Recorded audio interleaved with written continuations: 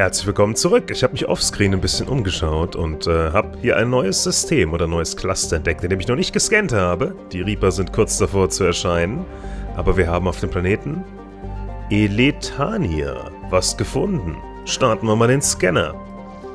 Schauen, in welche Richtung das ist. Da, okay.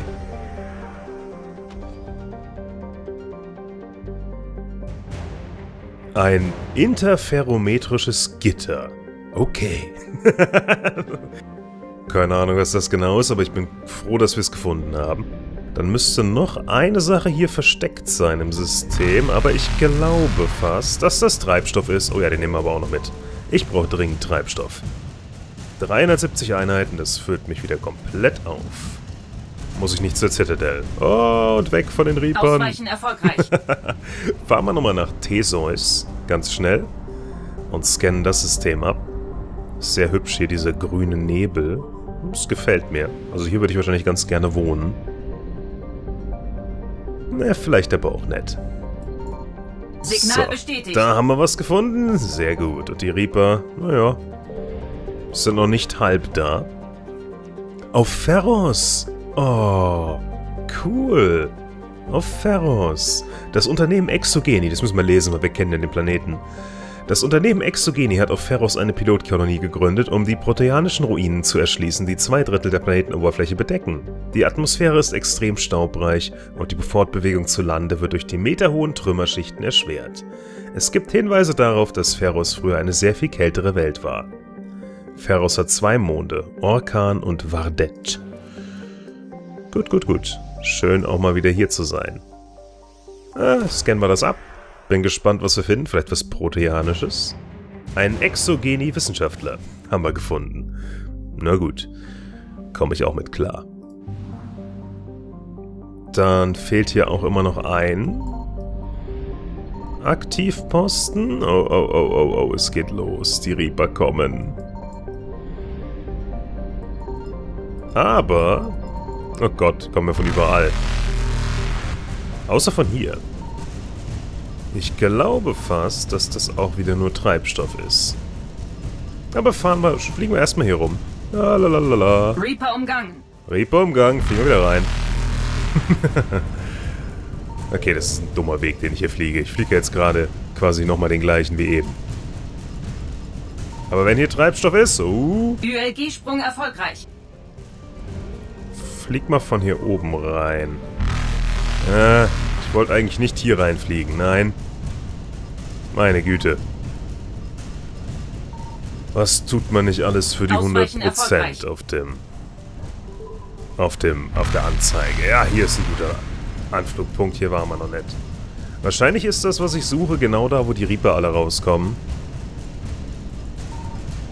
Ja, dann warten wir vielleicht noch Reaper bis zur nächsten Mission. Oder bis nach der nächsten Mission. Und fliegen zurück nach Herkules. Und von da an dann zur Citadel. Auf jeden Fall. Ich muss, weil ich habe keinen Treibstoff mehr. Außerdem kommen hier ja auch Reaper. Oh, oh, oh, oh, oh. Komm. Lass mich Glück haben. Ja, ich habe Glück mit meinen Reaper-Portalen. Erfolgreich. Super duper. Super duper. Ähm, wir können noch mal ganz kurz hier gucken im Petra-Nebel, aber ich glaube, den haben wir schon erforscht, ja. Ich bin mir relativ sicher, dass es hier auch nur eine Quest gab. Ja, da haben wir doch irgendwas, das kommt mir bekannt vor. Die Grissom Akademie, ganz genau. Hier ist nichts. Dann zur Citadel ohne weitere Unterbrechung. Da haben wir vielleicht ein paar Nebenmissionen abzugeben. Aber auf jeden Fall mit äh, Udina zu reden oder über Udina zu reden. Und zwar mit dem salarianischen Ratsherren, der gesagt hat, er wäre mir noch wohlgesonnen. Hm. Bin ich ein bisschen skeptisch. Oh, Allianzkontrolle, hier ist die SSW Normandy. Haben wir Landeerlaubnis?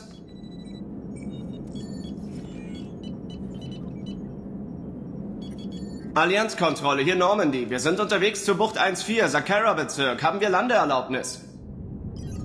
was ist hier los? Cerberus. Was zum Teufel geht da unten vor? Selbst bei einer Fehlfunktion der Station müssten die Backups online sein. Ich habe ein übles Gefühl. Überprüfe die Notsignalkanäle. Hey, ja, hier ist Joker. Aha. Ja, ohne Witz. Commander, ich habe Thane in der Leitung. Er sagt, das sei wichtig. Sie sollten sich das anhören. Stellen Sie durch. Shepard, die Citadel wird angegriffen. Überall sind Cerberus-Truppen und sie haben die Kontrolle über die Docks. Außer Gefahr? Nein, ich musste ihre Elitesoldaten im Krankenhaus umgehen und bin jetzt bei einer Lagenfront auf dem Präsidium. Hat Ashley es geschafft? Wir wurden getrennt. Sie sagte, sie müsse den Rat beschützen. Ich bin unterwegs zum Hauptquartier von C-Sicherheit. Wieso T-Sicherheit? Es wurde eingenommen und C-Sicherheit braucht es. Solange Cerberus es hält, haben sie auch die Station. Gut, Joker, nicht zu den Docks. Es geht zum Hauptquartier von C-Sicherheit. Wir nehmen das Shuttle. Oh Zu mein Befehl, Gott. Commander. Wie kann das nur passieren? Wie kann nur, wie kann nur die Citadel übernommen werden? Sind die denn alle inkompetent? Ist Cerberus so, so toll? Warum regieren dann die Menschen noch nicht die ganze Galaxie? Meine Güte, okay, ähm, wen nehmen wir da mit? Wollen wir James mitnehmen? Oder James, wie ich ihn gerne nenne. Äh, Garus wäre natürlich eine Option. Garus ist immer eine Option. Ja, ich denke, da brauche ich Garus. Und jetzt ist die Frage, wer begleitet mich noch? Eine der Damen oder einer der starken Männer? Hm. Edi könnte vielleicht helfen. Nicht wirklich, nee. Ich habe ich hab gedacht, weil die Citadel ist eine Raumstation, da hilft vielleicht der Roboter, aber nein. Nee, ich, ich weiß, Roboter ist das falsche Wort. Das sollte man nicht sagen. Bedeutet Sklave. Also, böses Wort. Ähm, Javik oder James? Javik oder James? Javik oder James? Äh, Javik. Ja, Javik. Ich habe mich entschieden, der Proteaner kommt mit. James bleibt an Bord des Schiffes und kann da Sachen machen, ja. Klimmzüge, Kniebeugen, sowas, ja. Ihr habt alle Waffen, das ist mir erstmal wieder, reicht mir völlig aus, das zu wissen, dass ihr alle eine Waffe habt. Mehr brauche ich gar nicht. Dann schauen wir uns an, was Garus noch lernen kann. Den Betäubungsschuss könnte er lernen für... Oh, AOE oder mehr Damage. Mehr Damage! Javik, du... Ich glaube, dich hatte ich letztes Mal schon dabei, aber das ist mir egal. Manchmal muss man Leute mehrmals mitnehmen. Ja.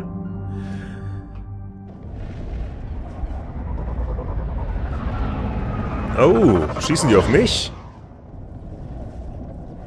Ah.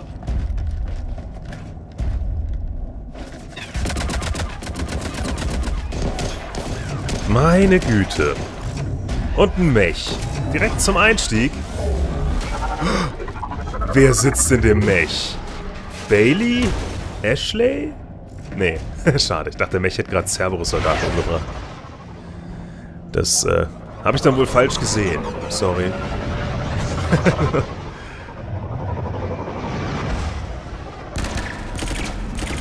ich bin auch generell verwirrt. Sind wir nicht gerade schon ausgestiegen? Ach du meine Güte. Nein! Sofort in Deckung. Wird gemacht! Scheiß auf Deckung. Maximale, äh, wie auch immer, Angriffe und so. Genau, Javik, du machst das gut. Ich, ich komme von der Wand nicht los. Lass mich los, Wand.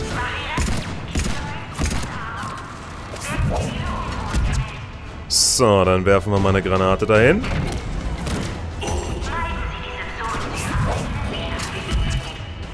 Und du wirst Überlastung auf das Geschütz machen. Und ich bring's um. So ist gut. Neue Singularität. Und dir schieße ich in den Kopf. Oder in die Nähe des Kopfes. Das reicht ja für die meisten Cerberus-Soldaten schon völlig aus. Uh, du stehst da gut. Nimm doch mal dein Scharfschützengewehr. Scharfschützengewehr ist doch viel sexier. Und du kannst vielleicht auch auf deine Piu-Piu-Piu-Schrotflinte wechseln, oder was auch immer du gerade benutzt. Auf das Sturmgewehr, sorry. Sturmgewehr heißt's. Okay, der ist explodiert. Den haben wir auch erschossen. Okay, das haben wir doch wieder ganz gut gemacht hier.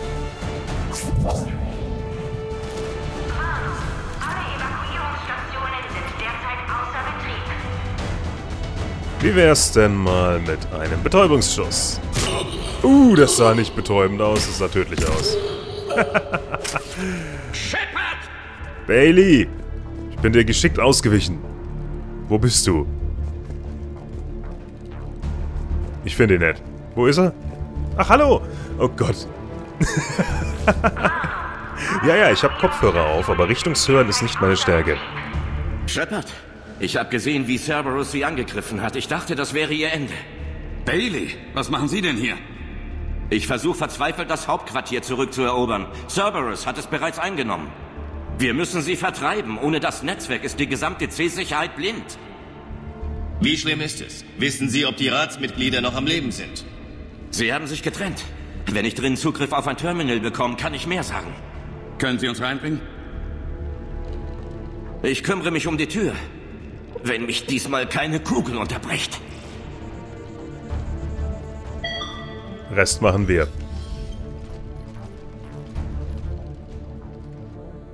Er ist angeschossen, also ich vertraue ihm. Aber ich habe schon gemerkt, er läuft hinter uns. Ne? jetzt nicht mehr. Nee, er ist ja einer von den Guten. Aber ich wittere Verrat jetzt überall. Irgendwie muss Cerberus hier hereingekommen So. sein. Der C-Sicherheit-Netzwerkzugang von Cerberus. Wie soll das helfen? Cerberus kontrolliert die Hauptkanäle. Ich mache einen neuen auf. Sonst haben unsere Leute keine Chance. Hallo? Was haben Sie? Eine Warnung von Ratsherr Valern. Er soll sich hier mit dem Executor treffen. Achtung, Verrat von innen sehr wahrscheinlich. Sonst nicht viel. Aber wenn er da drin ist, Ja, Verrat ist sehr wahrscheinlich. Aber wer? Wir haben eine Nachricht bekommen, Udina wäre... würde sich komisch benehmen. Aber das kann ja auch ähm, uns geschickt worden sein, damit wir Udina verdächtigen. Andererseits würden die Cerberus-Soldaten nicht alles dafür tun, uns von der Citadel fernzuhalten? Wenn sie das hier machen würden. Also ist wahrscheinlich, kann man dem glauben. Aber ich, ich, ich, ich glaube nicht, dass Udina zu Cerberus gehört im Moment. Das liegt zwar nahe, aber ich, ich kann es mir im Moment nicht vorstellen. Ein Ratsmitglied trifft sich mit dem Executor? jemand von Bedeutung soll angeklagt werden. Und dieser jemand hat wohl Freunde bei Cerberus. Der Ratsherr hat Udina erwähnt. Aber das ist Wahnsinn. Hat er überhaupt einen derartigen Einfluss? Und wer weiß darüber genaueres? Das Ratsmitglied. Hm, okay, aber Udina... Ja, ich weiß nicht. Wir machen, auf jeden Fall gehen wir jetzt da rein und erschießen alle Cerberus-Soldaten. Danach sortieren wir die anderen Leute. Ja, Ein Ratsmitglied ist besser als keines. Wohin muss ich? Er könnte im Büro des Executors sein, eine Position, die sich brauchbar verteidigen lässt. Bin dran. Sekunde. Okay, Verbindung über Universalwerkzeug. Los. Oh, haben wir jetzt Bailey in unserem Ohr? Ah, Büro des Thane, Haben Sie das Executors. alles gehört? Ja, ich nähere mich dem Gebäude. Aber das Rennen fällt mir schwer. Ich versuche zu ihnen zu stoßen. Überanstreng dich nicht. Oh. Eine Karriere bei der internen Abteilung, also bei der bei der Polizei der Polizei. Mhm. Bist du super beliebt. Äh, du bist, ihr seid alle noch hier? Ja, sehr gut. Dann machen wir die Tür mal auf und äh, kämpfen uns durch die Cerberus-Soldaten. Die hier unweigerlich warten. Javik und ich hatten die gleiche Idee. Sofort anfangen. Oh, das Schild hat, hat sein Schild geschützt, ja. das macht kaum Sinn, der Satz nicht. So. Ich darf auf keinen Fall irgendwas übersehen diesmal. Aha. Weitere Poster. Der C-Sicherheit. Ah, hallo. Probier's mit Überlastung. Okay, das hat gar nicht funktioniert. Sobald ich die Schilde weg habe, von dem Ding kann ich's sprengen, ja. Der Techniker ist, glaube ich, gestorben. Ja. Ah, ich denke, Techniker, da haben sich meine Freunde drum gekümmert. Oder auch nicht. Aber ein Techniker allein ist ja keine große Bedrohung. So, Betäubungsschuss.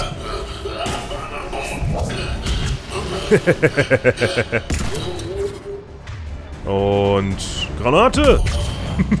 Warum nicht? Warum Truppen nicht? in der Lobby. Sie hatten sich verschanzt. Ich kann mit den Kameras alles sehen. Sie sind überall auf der Station. Wir haben's ja, wir haben's ja. Wir haben ja Granaten und all das. Ist ja kein Problem. Die Sicherheitstüren wurden zu ihrem eigenen Schutz abgeriegelt. Ich bin Commander Shepard. Mach die Tür auf. Lasst mich rein. oh. Nimm das.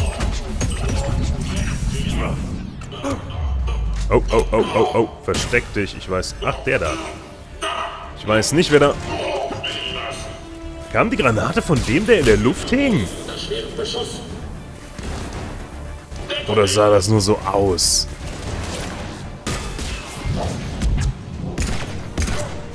War nur eine Ablenkung. Die Singularität, du Idiot. Diesmal nicht. Diesmal war sie wichtig. So, eine weitere medizinische Station. Sehr gut. Hier haben wir wieder Munition und Granaten. Sehr, sehr wichtig. Also ich kann, ich kann wahrscheinlich Granaten benutzen wie Sau. Vielleicht sollte ich meinen mein Helm auch mal aufsetzen. Das ist ja... Fahrstuhl gesichert. Störung beginnt in 10, 9, 8. Okay. Der hat noch gezählt, wer der schon tot war, oder? So ein ganz klein bisschen wenigstens. Komme ich hier rüber? Ja, natürlich komme ich hier rüber. Eine Präzisionsgewehr-Laufverlängerung. Oh, das wird Garus freuen. Ja, das wird Garus freuen. Was haben wir hier? War hier? Hier war doch noch was, oder? Ich habe doch gerade... Ach nee, das war das Ding. Okay. Schießen wir das auf. Oh. Eine Waffenmodstation hier? Was hätte ich denn finden sollen schon? Na egal. Aktivieren wir den Fahrstuhl.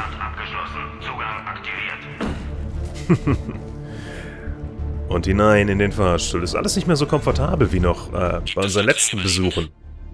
Bisher nicht. Verdammt, suchen Sie weiter.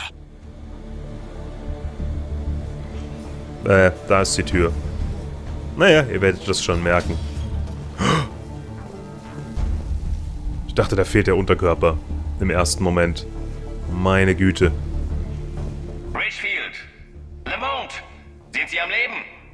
Verraten unsere Position. Wenn Schüsse Ihre Aufmerksamkeit nicht erregen, gelingt mir das auch nicht. Wir haben da noch gar nicht geschossen hier drin. Und als ist dieser Regen. Ja. Regen ist gut. So, hier haben wir ein persönliches Log von Armando Owen Bailey. Wirklich, ist das, ist das der Vorname von Captain Bailey, Commander Bailey, meine ich? Eintrag 1. Herkwan, dass er seine Berichte ordentlich ausfüllen sonst soll, sonst trete ich seinen Arsch von einem Ende der Zitadelle zum anderen. Neue Terminierung des Treffens mit dem Analysten vom Zoll wegen der Frachtgewichtsdiskrepanzen im letzten Jahr. Er darf sich nicht nochmal drücken. Verdammt. Eintrag 3. Berichte, dass unerwünschte Personen illegal auf die Station kommen.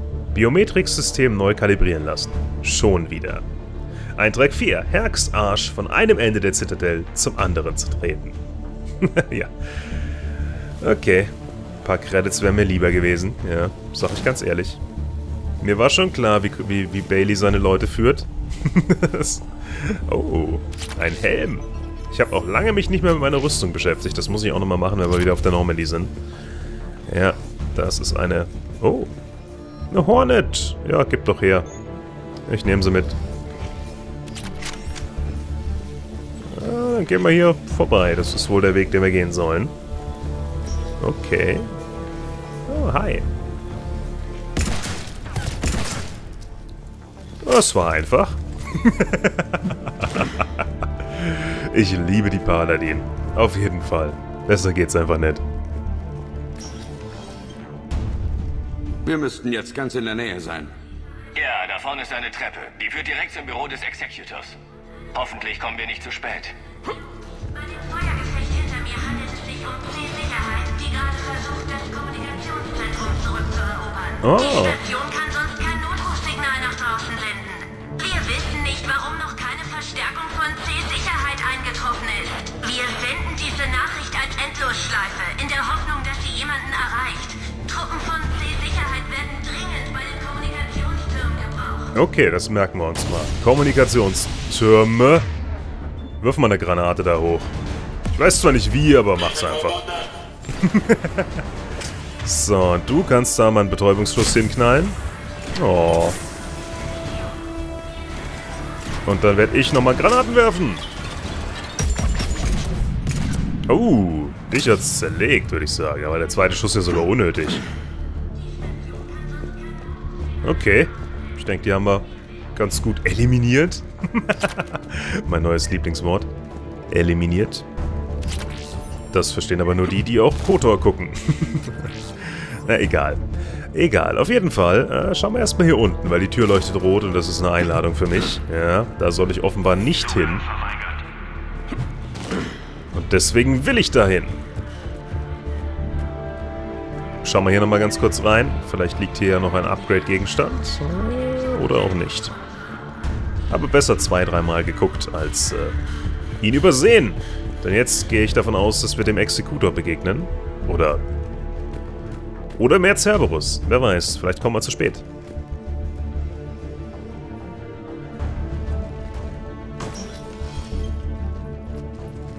Die Spannung ist groß. Bailey, Ashley ist bestimmt hier. Zwei salarianische Leibwächter hat's wohl erwischt. Gut, weitersuchen. Wenn Sie die Leiche des Ratsherrn nicht finden, schreiben Sie ihn nicht gleich ab.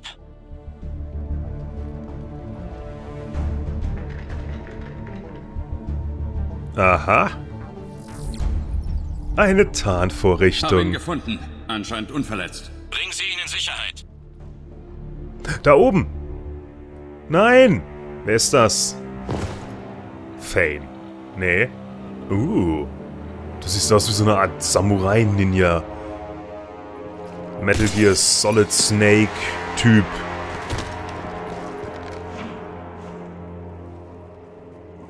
Denken Sie nicht mal dran. Shepard, er wird uns alle töten. Das bleibt abzuwarten. Udina plant einen Putsch. Die Ratsmitglieder sind in seiner Hand und sollen Cerberus übergeben werden. Drei gegen einen. Es ist vorbei. Nein, jetzt macht's erst richtig Spaß.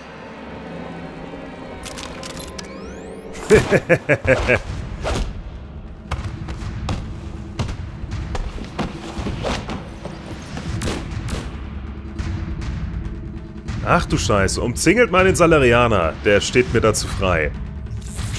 Oh oh.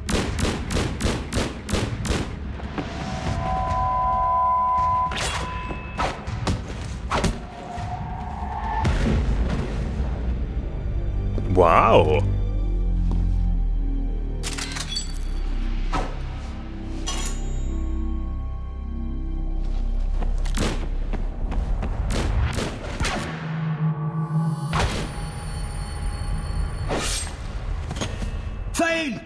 Was? Ja, das kommt halt davon, wenn man nur rumsteht. Und, äh, nicht mitmacht. Shepard, da bist du selbst dran schuld. Ach ja. Ach, Shepard. So groß ist dein Magazin doch gar nicht.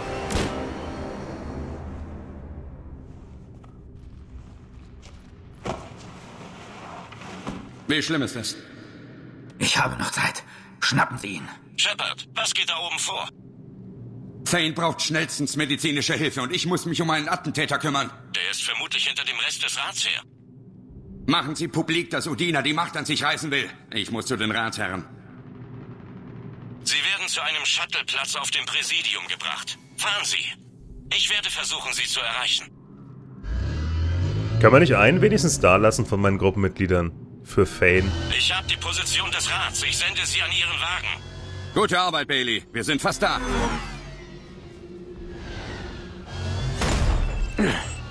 Oh, du bist so tot, Junge. Du und dein dämliches Schwert.